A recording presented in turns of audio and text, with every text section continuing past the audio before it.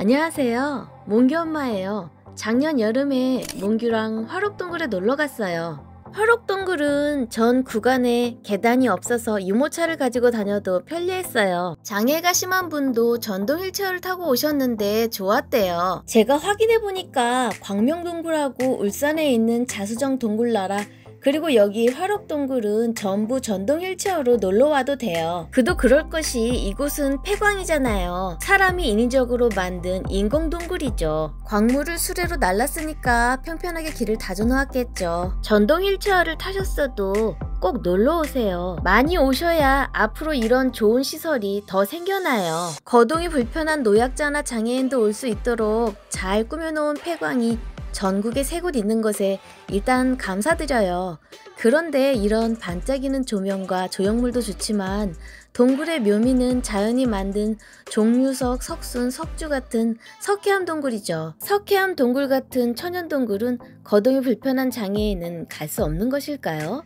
슬로베니아 포스토이나 동굴은 갈 수 있어요. 포스토이나 동굴 공원 공식 홈페이지에서 포스토이나 동굴 정보 페이지에 이동 장애를 클릭해보면 거동이 불편한 방문객을 위한 안내가 나와 있어요. 거동이 불편한 방문객을 위해 완전히 개조되었대요. 계단이 없지만 경사진 한 부분만 동반자의 도움을 받으면 전체 투어를 선택할 수도 있다고 하면서 거동이 불편한 방문객을 염두해서 안내도 자세히 나와 있네요.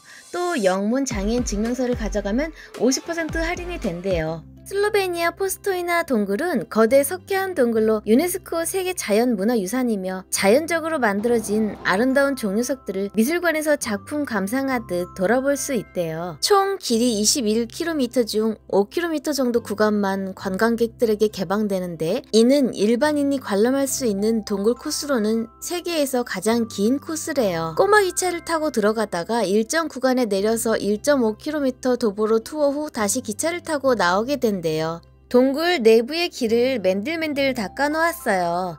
울퉁불퉁하고 험했을 텐데 잘 해놓았죠. 우리나라에서는 휠체어를 타고 석회암 동굴에 들어가고 싶다고 한다면 개꿈 꾸지 말라고 했을 것 같아요. 슬로베니아는 얼마나 좋은 나라이기에 휠체어를 타고도 석회 동굴을 여행할 수 있는 걸까요? 슬로베니아는 헝가리 오스트리아와 국경을 맞대고 있고 대한민국의 국토 면적의 5분의 1이며 인구수는 대한민국 인구의 25분의 1 정도예요. 국제통화기금에서 뽑은 선진 경제국으로 한국과 슬로베니아가 포함되어 있고 OECD 회원국이에요. 국가별 명목 GDP 순위에서 한국은 12, 슬로베니아는 82위예요. GDP만 높다고 무조건 더 좋은 선진국은 아니겠죠. 유엔 총회의 하부 조직인 국제연합 개발 계획에서는 각 국가의 실질 국민 소득, 교육 수준, 문맹률, 평균 수명 등 여러 가지 인간의 삶과 관련된 지표를 조사해 인간 개발 지수를 발표하고 있어요. 인간 개발 지수는 인간다운 삶을 나타내는 척도로 쓰이고 있어요. 대한민국과 슬로베니아가 굉장히 순위가 비슷해요. 슬로베니아처럼 장애인도 이용 가능한 석회동굴이 대한민국도 가능할 것 같지 않으세요?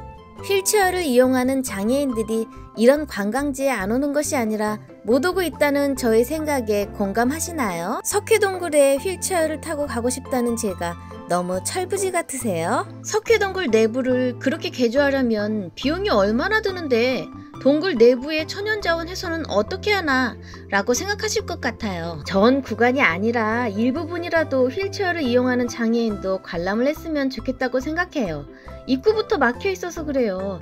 지형이 그나마 험하지 않은 석회동굴이 있다면 반의 반이라도 코스를 즐겨보고 싶어요. 제가 제주의 만장구를 가봤을 때 입구랑 초입만 경사가 심하고 그 구간을 지나가면 보행로를 꽤 잘 꾸며 놓으셨더라고요. 천연동굴 훼손에 대한 걱정도 일반인들에게는 동굴의 일부분만 개방해서 깊은 동굴은 보호를 하고 있잖아요.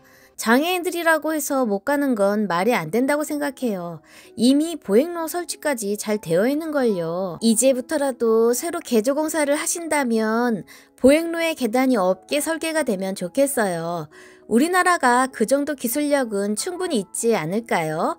그리고 동굴들 국비 투입 안 된 곳이 없던데 그렇게 국비, 시비, 구비를 들여 설치했다고 한다면 공공시설의 성격도 있는 것인데 그래서 만장굴의 경우 입장료도 저렴한 게 아닐까요? 그런데 왜 장애가 있는 아이의 부모는 아이를 데려갈 수가 없는 거죠? 영상을 시청하고 계신 어머님, 아버님, 구독자님, 그리고 국민 여러분, 휠체어를 탄 우리 아이들도 석회암 동굴에 가서 체험학습을 할 수 있도록 관심 부탁드려도 될까요? 문규는 동굴을 굉장히 좋아해요.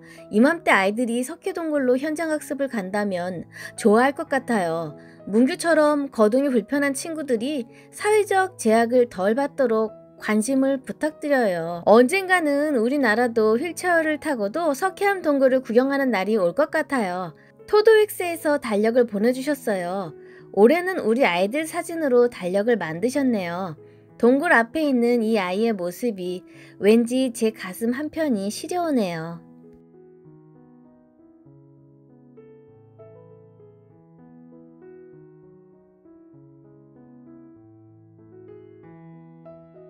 편집을 다 끝냈는데 이런 기사를 발견했어요. 뭔가 공사하고 있나 전화해봤는데 온달 동굴에서는 아직 휠체어가 접근이 안 된다고 하시네요.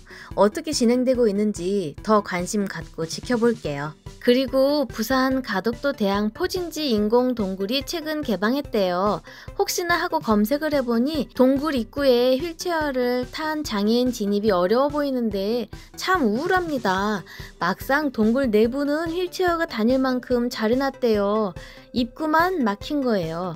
이곳은 무료이고 해변 데크 같은 경우는 2020년 12월에 만들어졌다고 하는데 2018년부터 국비, 시비, 구비 등 55억 원을 들여 430m의 데크로드를 설치했다고 한다면 공공시설물임이 확실한 것 같은데 장애인도 갈 수 있어야 하지 않나요?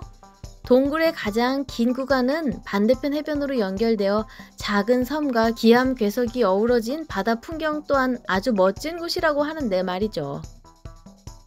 많은 디자이너들은 장애인의 요구사항이 대다수 사람의 요구사항과 공존한다는 사실을 깨닫지 못하는 경우가 많습니다. 건축은 이러한 장애를 가진 인간의 치유 과정의 필수적인 부분이며 공간의 생성은 모든 사람의 육체적, 정신적 웰빙을 달성하기 위한 균형을 만드는 데 도움이 됩니다. 따라서 모든 인간을 위해 유연하고 복잡하지 않으며 편견 없는 사용을 촉진하기 위해 보편적인 디자인을 생성하는 것은 모든 건축가, 기획자 및 디자이너의 도덕적 의무에 가깝습니다.